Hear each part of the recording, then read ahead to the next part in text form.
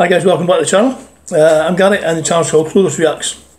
So today we're going to have a really, really short one. It's only on um, 70 seconds long. Uh, but it's quite poignant. So it's how Indian soldiers saved Haifa in World War One. The Haifa is in the north eastern point of um, Israel, um, I'm sure. Uh, and it's, uh, it's a port, so it's uh, very important uh, and Indian soldiers um, saved the whole area here. So let's see how it uh, how it transpired. I'm at one of the most important places in Israel during World War One. This is the Indian cemetery in Haifa that honors Indian soldiers who fell here during a very hard battle in 1918, the liberation of Haifa from Ottoman rule.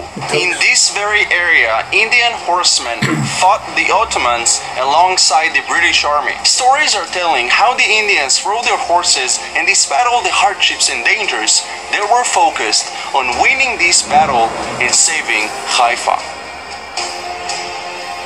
Bravery of the Indian soldiers literally changed the lives of both Baha'i and Jews who lived here these days. Israel even gave a very special nickname, Hero of Haifa, to one of the most victorious Indian commanders of this battle, Major Thakur Dalpat Singh, who commanded the Jaipur Lancers and died during the battle.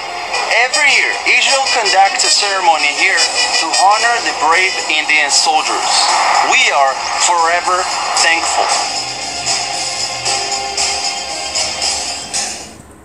Yeah, it's um, another uh, another um, example of uh, Indians fighting prowess. Um, I know this for a, for a fact. Um, I did read on this uh, this subject um, maybe a couple of years ago, uh, and Indians were ferocious uh, in defeating the Ottomans. Uh, so um, hold on, guys. Much respect. Um, so that was just a very short one. Um, if you uh, like it, give me a thumbs up subscribe, share, um, and until next time, please take care.